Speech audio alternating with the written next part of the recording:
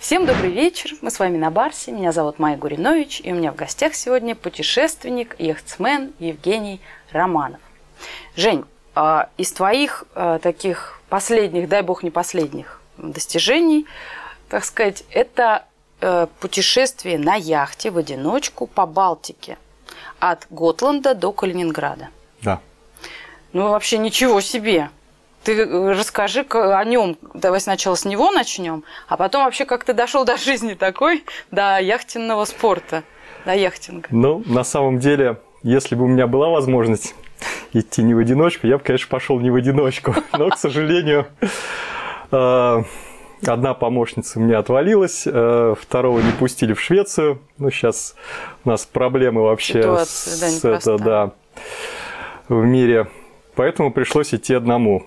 Это был мой первый опыт таких дальних переходов. В одиночку? В одиночку, естественно, да. До этого я ходил только вместе с помощниками. С командой? Клима, наверное, да, с командой. целой, да? А, идея купить яхту в Швеции у меня была еще, наверное, года два назад, и вот в этом году решил, что надо наконец ее Как исполнить. звучит? Идея купить яхту. Как- Каково это? Я не буду, конечно, спрашивать, сколько это стоит, но ну каково это вот Ну, обладать яхтой? Вот, простому нас- ивановскому ивановцу. На самом деле непросто. Яхта – это достаточно много забот, тем более, ну, хватило у меня на очень старую яхту. Ей 50 лет, но она еще в очень хорошем состоянии, бодрая, да. А, А у нас они поближе-то не, негде было их взять. Ну, просто у нас это стоит сильно дороже. А, вот в чем. Да. Я знаю, что ты как э, начал, началось это путешествие уже почти э, с первых там часов, не просто, да? У тебя там мотор? Ну да, яхта не Заглох. новая. А, Были проблемы с мотором, то есть э, не успел я от Готланда отойти. А, Мотор заглох, аккумулятор сел, и поэтому мне пришлось идти под парусом до Калининграда, до Балтийска. Это сколько по времени-то? Ну, по времени это заняло двое суток, Ничего себе. да. Погода была... Ну, к счастью, я подгадал нормальную погоду, чтобы был подходящий ветер, чтобы можно было идти под парусом. Потому что, как правило, когда делаешь дальние переходы, ну, нужно смотреть, выбирать погоду так, чтобы в случае каких-то форс-мажоров у тебя была хорошая возможность завершить задуманное. Да. Меня, То есть у тебя заглох мотор, да, и ты вынужден был... Погода-то хорошая, но ветра-то не особо, наверное, да? Вет- ветра было, кстати, по-разному. Да? А, Был практически штиль на второй день, когда вот я стоял, там еле полз. Паруса просто болтались из стороны в сторону на волне. А нельзя было А- вернуться обратно? А, Ну, просто я уже решил, что ну, надо идти. И Ага. решил, что не стоит возвращаться. Там это было связано еще, опять же, с не- с непростой ситуацией в мире. Ага, ага, ага. То есть туда-сюда? В общем, я, да. Никак. А, То есть ты отправился, мотор, значит, накрылся, и он вообще не включался, или он в конце концов Ну, к счастью, у меня на яхте стоят солнечные панели, поэтому за два дня аккумулятор зарядился, и мне вот перед заходом в Балтийск удалось все-таки мотор завести Это и перед- своим ходом. Перед самым прибытием? Или... Да, перед самым А, перед прибытием, самым. буквально вот за час. А. Да, да. То есть так вот ты за сколько преодолел? От Готланда до Калининграда? Это сколько? Ну, я рассчитывал где-то там где-то сутки, может быть, около полутора суток. А получилось? Получилось двое. Ну, всего лишь, да? Бессонных Чуть-чуть. ночей там и дней. Ну да, Балтика регион непростой, и за эти двое суток удалось поспать там два раза по 30 минут. Вот так. А как это вообще? На сам силе воли? На, на ну, чём? морально-волевые, да. Вообще. Ну, человек должен быть все-таки готов а, к тому, на что идет. Мгм. Ну, ну, ты, наверное, это было э, среди вариантов в твоей голове? Да, конечно. Такой вариант тоже я рассматривал, поэтому вот очень непредсказуемая погода, то есть даже несмотря вот на выбранный, э, как бы, это называется у нас погодное окно, Мгм. подходящее, все равно там был и почти штиль, и э, прилетал там шквал, например, где-то до 30 узлов ветра, когда яхта под зарифленными парусами прямо там неслась 7 узлов с лишним, вода под форштевнем рычала, прямо так вот, Вот так вот. да. Ничего себе. И ты, это у тебя было впервые, что ты один на судне, да? Да. Ну, наверное, раньше какой-то опыт был, и это тебя как-то закалил, да? Ну, Тоже естественно, были, был опыт. э, Я вообще за кормой оставил больше миль, чем их укладывается в экваторе. Да ты что? Да. Это за сколько лет? Это, ну вот с 2005 года, это уже почти 20 лет. Мгм. Вот у тебя стаж какой. Да. Стаж. Ну, понятно, что я не все это время. Обычно удается где-то вот, ну, несколько недель в году М. посвятить занятию. А как ты вообще с- связался с этим яхтенным делом всем? Я знаю, что у тебя такой э, бэклай, бэкстейдж, как это называется? Бэкграунд. Бэкграунд, да. Не- Непростой, не маленький. Да, Ты на- был капитаном экспедиции научной на Дальнем Востоке. Ты был и инструктором, даже Много кем был, совершенно верно. в серьезных местах. Сейчас мы об этом поговорим. Как ты стал Ну, наверное, это у меня вот с детства любовь к парусу, к ветру. Начинал я еще там школьником э, радиоуправляемый яхты у нас тут делал.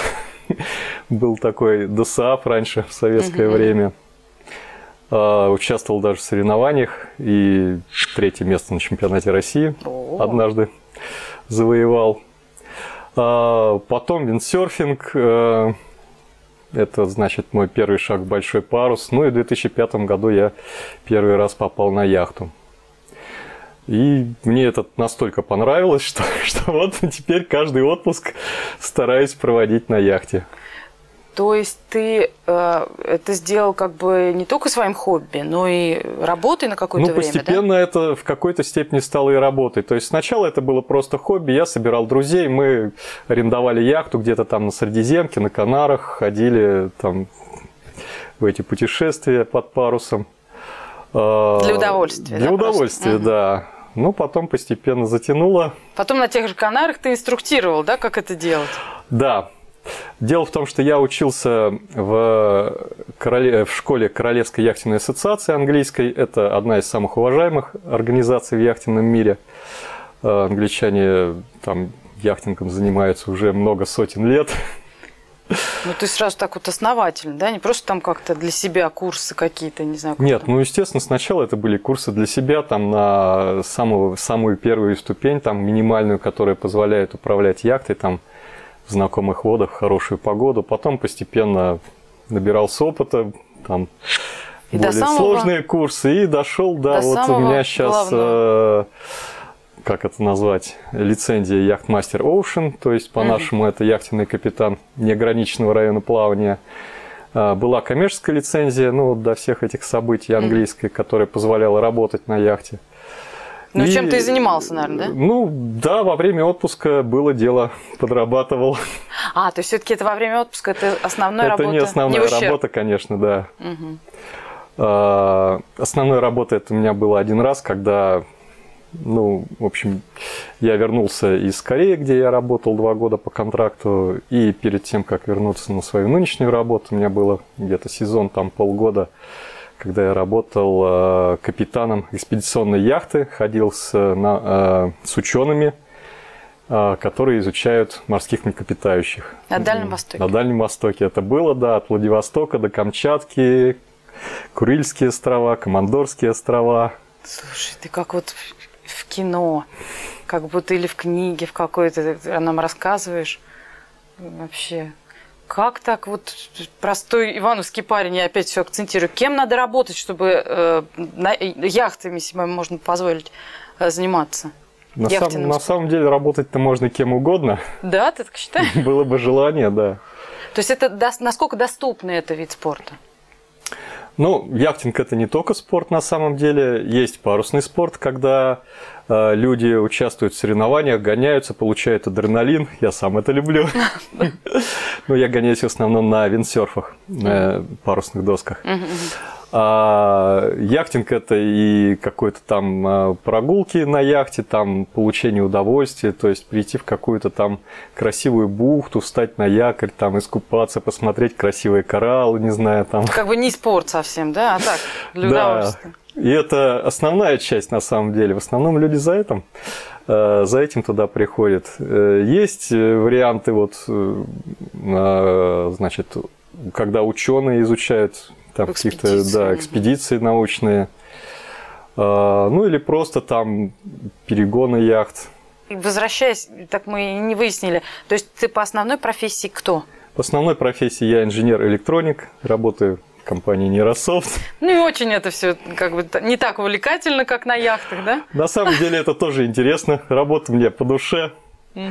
А, ну, нескромно скажу, что я один из лучших разработчиков а, в компании. А компания это, между прочим, поставляет а, медицинское электронное оборудование на мировой рынок, там и в Америку, и в Европу, там да. и сейчас в Азии очень много. Да, мы про вас не один репортаж да. уже снимали, да, и регулярно сообщаем о ваших достижениях. Нескромно скажу, что достаточно много из этих приборов разработал я. Вот так вот.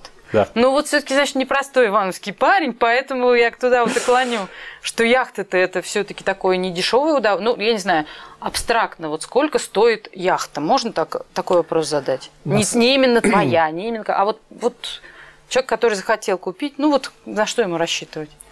На самом деле зависит от того, какая яхта, где яхта. Есть варианты яхт, э, которые в той же Швеции продаются, ну, условно говоря, там за 2000 евро, к примеру. Ну, это доступно, как бы, да? Но просто сейчас, в наше время, эту яхту оттуда не вывезешь. Ну, а. Ну, просто никак. То есть, эта яхта не для морских путешествий, это вот, ну, на речке покататься mm. можно, там где-то на озере. Ну, в Плёсе вон у нас тоже есть яхтсмены, да? Да. Вот. Но, к сожалению, сейчас э, это можно купить в Швеции, но нельзя на ней прийти Транспортировать, наверное, Россию, очень дорого да. и вообще сейчас, да. нецелесообразно. Нецелесообразно. А хорошо, а ты на своей яхте где планируешь? Вот на новой, ну, вновь приобретенной? Я ее планирую все-таки на ней прийти сюда и где-то здесь, на Волге, вот. Ну, для своих внутренних путешествий по стране, я имею в виду, да? Да, по стране. Уж такие это... вот рекорды уж не будешь? Нет, это рекорд был вынужденный.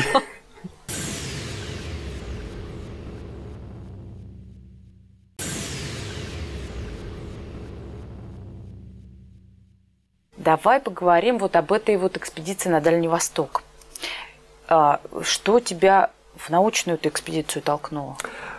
Меня очень, на самом Другое деле, немного. заинтересовал а, а, наш Дальний Восток, э, потому что от яхтинга э, я в том числе получаю впечатление от посещения новых мест. То есть вот очень захотелось мне увидеть э, наши вот Курильские острова, Сахалин, там Командоры – и э, через знакомого нашел э, вот, научный руководитель, который занимается программой э, по изучению сивучей, совместной американо-российской программой, еще с времен Советского Союза.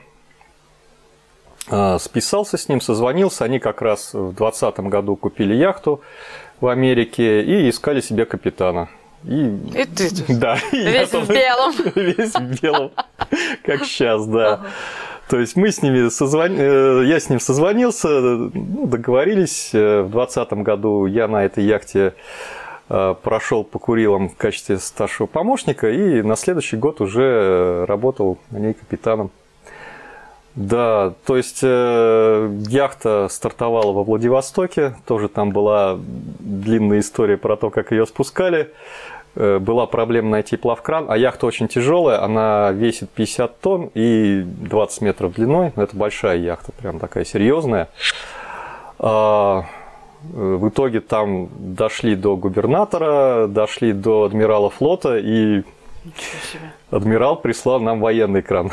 Вот так вот? Да. Нас спускали военные, потому что гражданские все были заняты. А дальше, дальше мы пошли по научной программе, э, обслуживать э, автоматические камеры, которые находятся на лежбищах э, морских котиков. Ой, ну прям National Geographic какой-то, да? Да, ребята работают и с National Geographic ага, тоже. Ага. Вот, ну в нашей экспедиции их не было.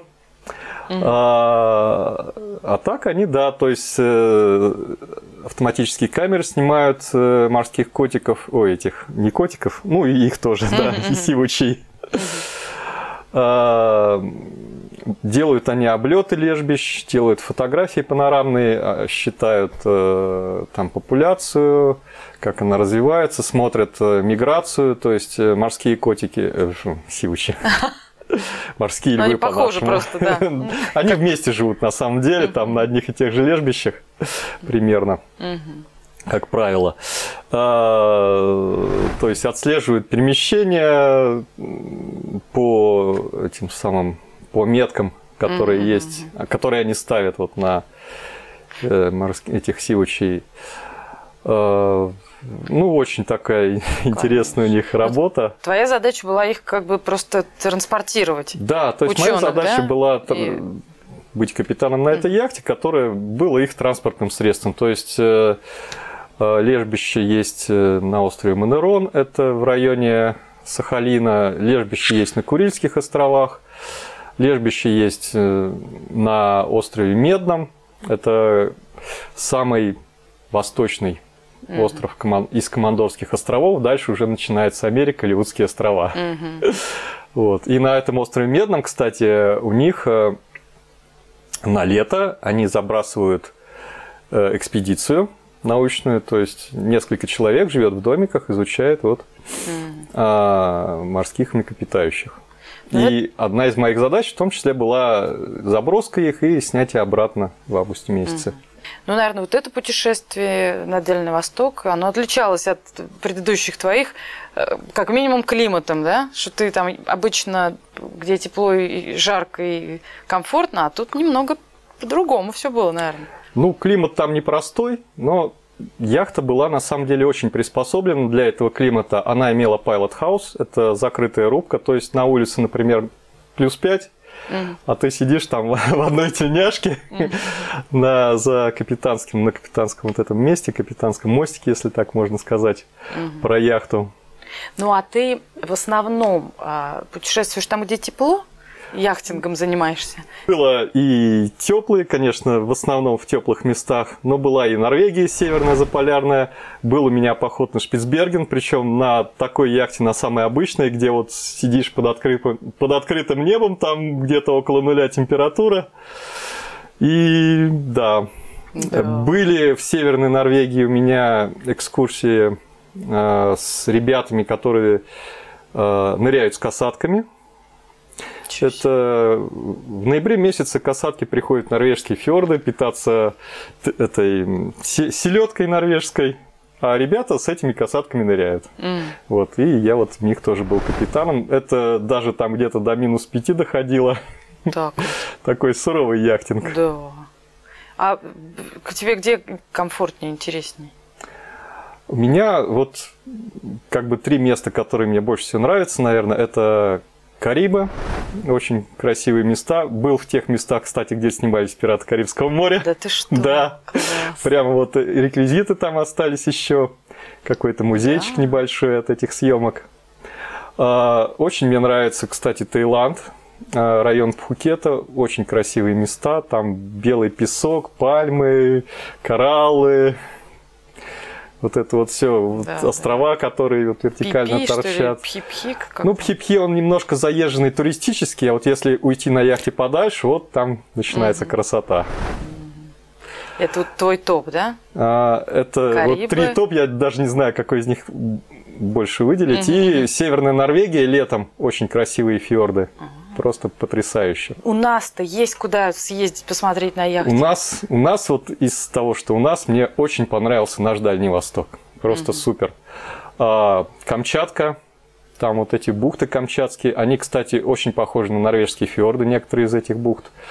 А, очень красивые Курильские острова, вулканы. А, Касперский – если слышали угу. про такого. Антивирус, конечно. Конечно, да. Вот он э, очень любил путешествовать по Курилам и даже составил себя в блоге такой короткий путеводитель по Курильским островам, где описывает вот всю, всю вот эту вот красоту, которая у нас там есть. А что ж ты сейчас ты будешь делать вот в связи с этой всей политической ситуацией? Где ты сейчас будешь на своей новой яхте разъезжать? Ну, сейчас я приобрел яхту, чтобы понять, каково оно быть владельцем. Сейчас я пока планирую где-то вот либо у нас тут на реках, озерах, может быть, немножко по Балтике, э, в районе Петербурга и Выборга. Ну, в дальнейшем, конечно, хотелось бы Расширить наш, границы. наш Дальний Восток, да, Ага. захватить. А вообще, ну, купить яхту, это, конечно, круто и прекрасно, но ее еще надо содержать. Ее надо, наверное, она же не будет стоять, как машина там под дождем и снегом. Да, Круглый это год. тоже одна из болей владельца яхты. Ну, считается, что содержание яхты стоит примерно 10% ее стоимости в год. Мгм. Вот так вот. Вот, поэтому, когда яхту покупаете себе, сразу, Сразу. рассчитывайте. Да, да, да. А старая яхта может даже и больше. А, вот так, потому что Да, за ней ну, больше там ремонт, да, вот это все. Ух- ухода больше. ней. Ухода больше. То есть стоит она относительно недорого, а ухода требует много. Я знаю, что у тебя еще одно есть хобби. Такое более, значит, приземленное, можно сказать, но, можно сказать, что более, и более творческое. Ты танцами увлекаешься, да? Есть Но такое. На профи- Не на профессиональном уровне, или вы все-таки, по-моему, участвовали в конкурсах даже? Ну, это любительские конкурсы, но танцы это очень хорошее занятие, очень полезно оно и для здоровья, для, не знаю, там, нормализации сердечно-сосудистой системы и как физические нагрузки. То есть, не знаю, там тягать как, какое-то железо в спортзале или там просто бегать, ну, это не так интересно. А здесь тебе и физические нагрузки, и просто приятно там танцевать с партнершами, там, с красивыми. Это хастл, да, у вас? Или Ну, чем- да, у вас был в прошлом году наш руководитель, один из лучших учителей танцев Иванова, Кирилл Калмыков. Я занимаюсь у него. Мгм. И это как бы э, немножечко э, раскрой, чем вы там занимаетесь. То есть это э, импровизационные, э, импровизационные танцы с разными партнерами, не как вот бальные танцы, да? Да, в отличие от бальных танцев, где у тебя своя пара, где вы там учите какую-то схему, основное внимание там, наверное, уделяется технике, то здесь танец построен на импровизации. То есть есть какие-то фигуры, которые ты знаешь, э, которые ты можешь построить. Ну, это как вот как беседа, условно говоря. Только это беседа в танце. А, Ты знаешь слова, ты можешь строить из них предложения, и точно так же в танце. Ты знаешь фигуры, ты можешь строить из них какие-то интересные композиции, ну и обыгрывать мелодию. Это очень интересно.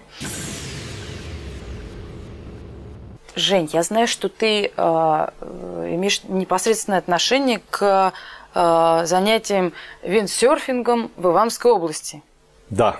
Расскажи. Можно сказать, что я сейчас, наверное, один из старейших виндсерферов в Да ты Ивановской области. Я Как начинал заниматься этим еще в студенческие годы, в 90-е, э, когда учился в Энерго, в лагере Энерго. По-моему, до сих пор еще сохранилась та доска, на которой я учился. Вот. В начале 2000-х у нас была даже какая-то тут э, компания виндсерферов, потом это все заглохло, и сейчас вот последние годы, вот года 3-4, виндсерфинг в Ивановской области начал возрождаться. Сейчас у нас э, появился даже клуб, пока у нас рабочее название «Ветер в голове» называется. Но, тем не менее, у нас все больше и больше участников. Мы с прошлого года начали нашей командой выезжать на соревнования, участвовать в соревнованиях, да. Э, Пока вот э, к нашим друзьям из Сарова в город Выксу мы выезжаем. И даже там какие-то места занимаем. О, Да.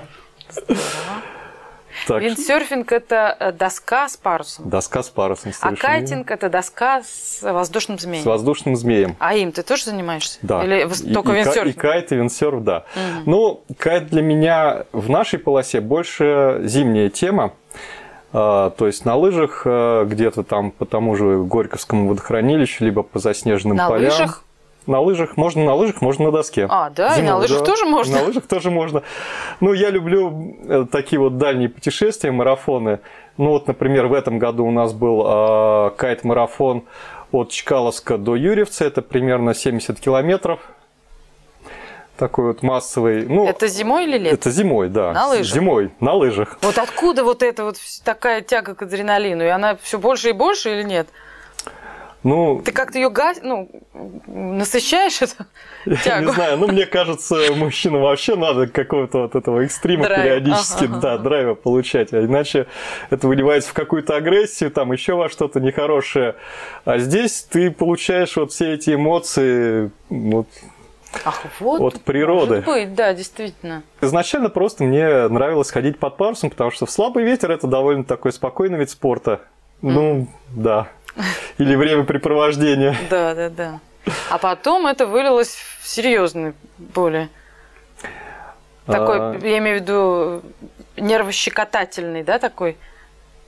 Или Ну- и ты вообще как вот любишь? Чтобы было спокойно или так вот нервы пощекотать?